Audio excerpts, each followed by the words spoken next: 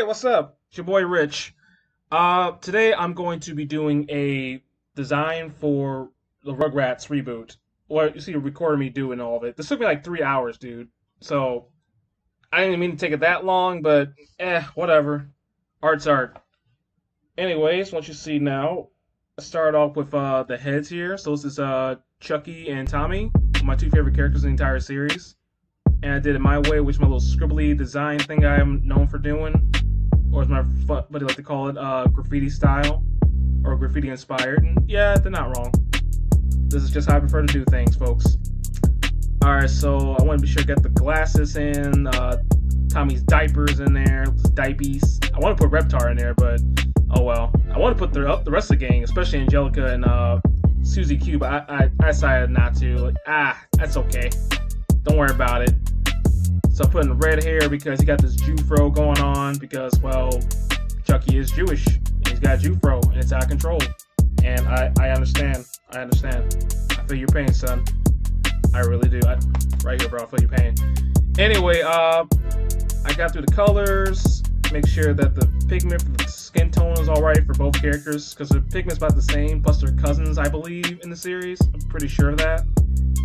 I got, you know, his uh, shirt, diaper, then his shirt, then his little short things that look freaking ridiculous in the series, but, you know, it is.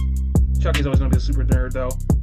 But uh, Paramount Plus just announced it today that uh, the series is getting the reboot, and they showed uh, a small preview of it, and I'm very impressed by it.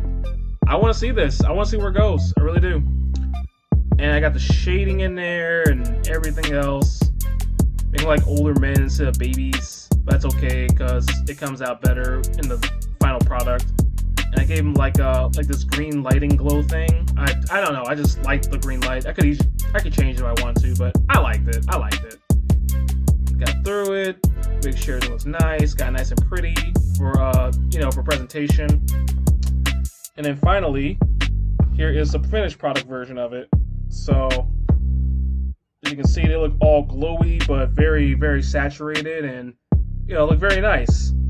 And the tools I use are uh, basically, I use a program called Krita, but you can use Photoshop if you want to, or Clip Art, whatever, it don't matter. As long as it's a art studio type of program, you're good to go.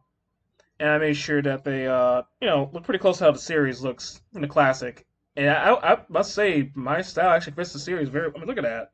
It fits it very, very well and I really love the way this came out. I'm very happy with this one. This is probably my favorite one so far. I made it in such a short amount of time too. I'm very, very, very impressed how I did this. Anyway, uh, that's all I got to share with you today. So if you want to check in the comments or you know talk in comments about the Rugrats or whatever, or check in the description where I discuss my uh, I got links to my commissions and my Etsy store and all that stuff, all the good little stuff you want to check out, whatever. And if you want to see more videos by me, I should have another video popping up any second now around the screen. I don't know where, but it's, it's coming somewhere, all right? I, I promise you. So if you want to check it out, go ahead. If not, that's fine. I mean, hey, just enjoy it. This is all it's for, man. All right, y'all take care, all right? Peace.